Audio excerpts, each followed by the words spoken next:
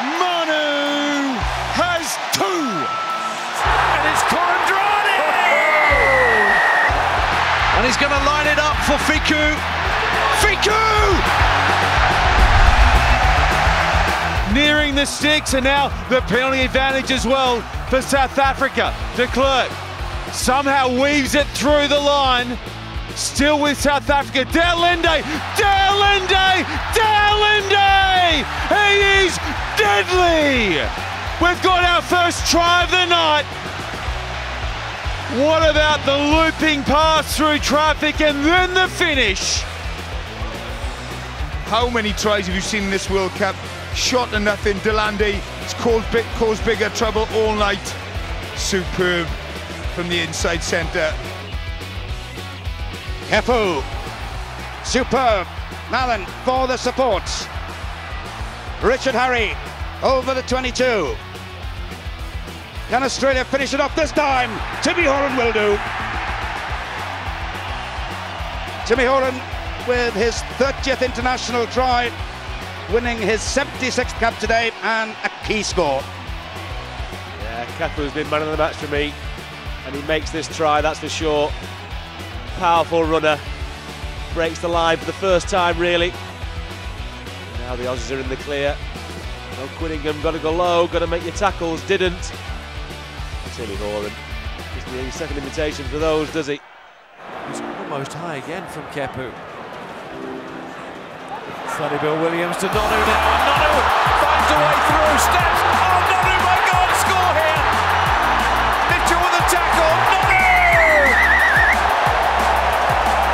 The All Blacks are on their way to a special place in World Cup history. And a very special player scores their second try of the final. Absolutely sublime rugby from New Zealand. And that is just beautiful rugby. Got there by Codey. The drive on by Lorieux again. This great bull of a man. What a World Cup he's had. Now it's Berbizier, not sure where to go. Nicely out. Sella has a great chance. Sella's streaking through. What a brilliant try. And that's the French record. A magnificent try. It really came out of nothing. Lorieux made the thrust first of all. What a tremendous charge it was. Stopped by Cutler. And then Berbizier wasn't quite sure. But he gave it out to Mesnel. And then Sella suddenly veered inward and was gone. That was some score. Here it is again that just notice how Sella now, he feigns to go to the outside, cuts back inside, wrong foot to defence, and it just shows outstanding acceleration to score under the post. Oh, Rono coming back on the Wales side. Phillips can afford to have a look around. We'll go this way, says Priestland. Davies, strong. Jonathan Davies.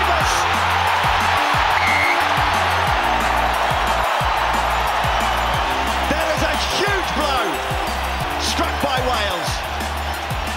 What a moment in this young man's life, and what a moment for Wales. How did he get through that gap? There was nothing on. Redden can't get him. What a try, what a moment for Wales. Could this be it? Could this be their path to glory? All done by this man in the grey headgear. What a run that is from Penaud. Set up wonderful field position. Dupont, that didn't quite stick for Alldritt. But Guirado is there. Dupont finds Ntamack. Vakatawa is going to take them on. And he's going to line it up for Fickou. Fickou! A lightning strike from France. Gael Fickou touches down.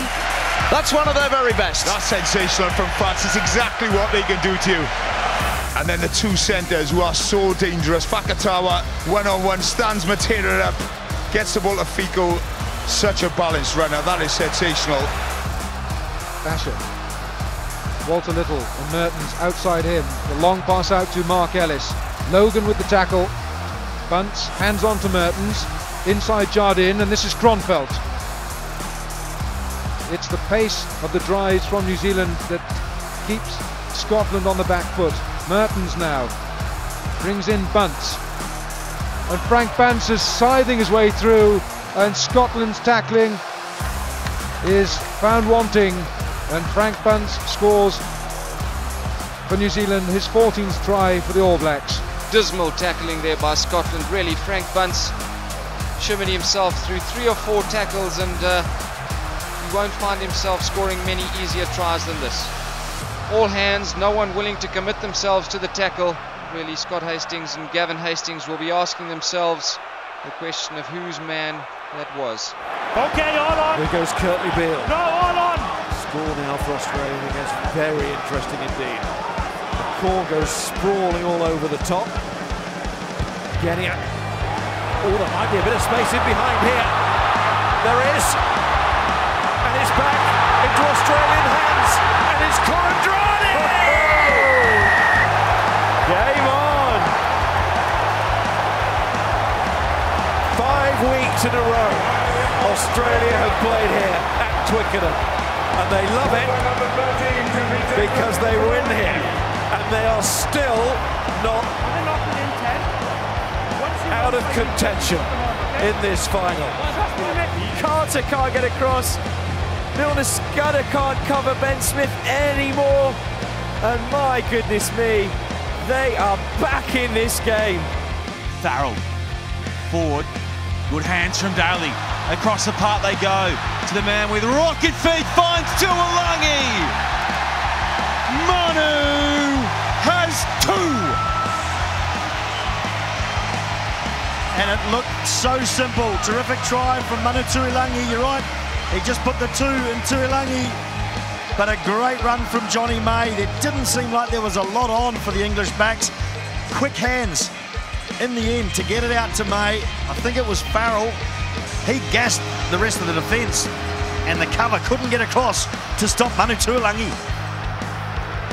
Now, what can Ireland do? Costello goes straight to the light man in Michalak. Stringer, Humphreys, the little kick in behind. No, can he get it down? That's try I time. think he's got it down. Try of Ireland. Brian O'Driscoll. Clever play by Humphreys. Good lead-up work by Costello. Ireland back scoring their second try. Well, Humphreys saw the little gap, put it in behind, the only way you could breach the defence. And O'Driscoll just took his time. It looked like it was in slow motion. But one-handed just plucked it out of the air and whacks it down before the line. That is skill.